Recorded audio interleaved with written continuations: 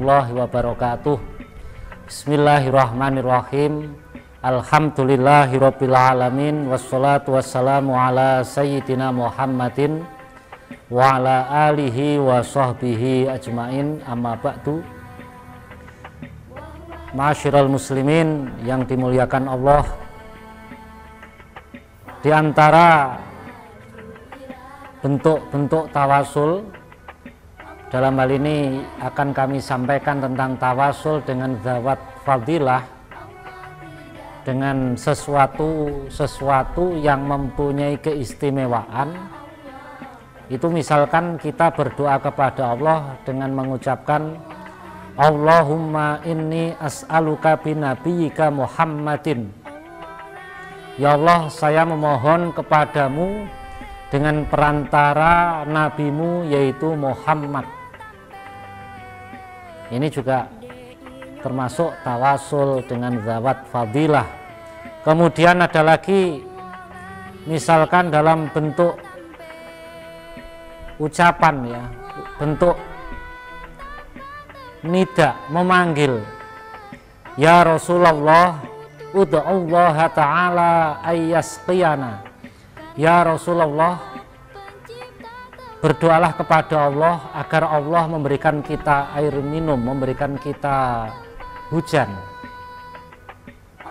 Ini pun juga termasuk tawasul dengan dapat fadilah. Dan itu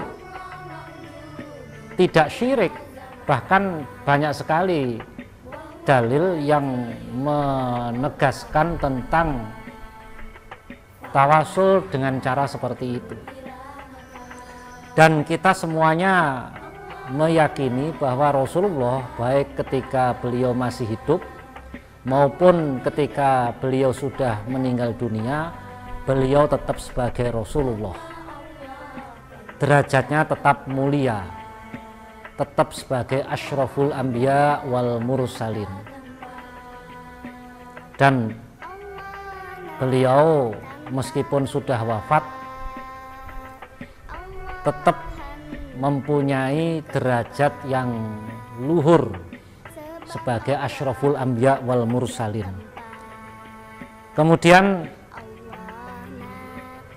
ada lagi misalkan bentuk tawasul yang biasa umat Islam ucapkan Ya Robbi bil Mustafa balil makosidana yang artinya Ya Robbi wahai Tuhanku bil Mustafa dengan perantara Nabi yang terpilih. Ya Robbi bil Mustafa balil makosidana sampaikan tujuan-tujuanku. Ini pun juga termasuk tawasul dengan dawat fadilah. Dan tawasul berdoa dengan cara tawasul semacam ini cukup banyak hadis Rasulullah cukup banyak hadis-hadis sohih yang menjelaskannya. Salah satunya adalah hadis sohih yang diriwayatkan oleh Imam At-Tabarani dalam kitab Al-Mu'jamul Kabir dan Al-Mu'jamus Sohir. Hadis ini juga diriwayatkan oleh Imam At-Tirmidhi, Imam Hakim dan hadis ini dinilai sohih oleh Imam At-Tirmidhi, Ibnu Khuzaimah, At-Tabarani dan Imam Hakim serta Al-Baihaqi dan imam-imam hadis yang lain. Dan hadis ini sangat terkenal sebagai hadis subdorir ya. Hadis yang menceritakan orang yang buta yang sowan ke Rasulullah untuk minta didoakan. Dan oleh Rasulullah diberi tata cara berdoa. Kata Rasulullah, tawaddo thumma sholli ini. Kamu berwudu dan sholat dua rakaat. Setelah itu kamu berdoa. Doanya ini, Allahumma inni as'aluka wa atawajjahu ilaika binabika Muhammadin nabiyyi rahmah Ya Muhammad ini atawajjahu bika ila rabbi fi hajati lituqdoli Ya Allah saya memohon kepadamu dan menghadap kepadamu dengan perantara Nabi kami yaitu Muhammad Nabi rahmah, Nabi pembawa rahmat. Ya Muhammad, wahai Muhammad, ini atawajjahu bika ila rabbi fi hajati lituqdoli.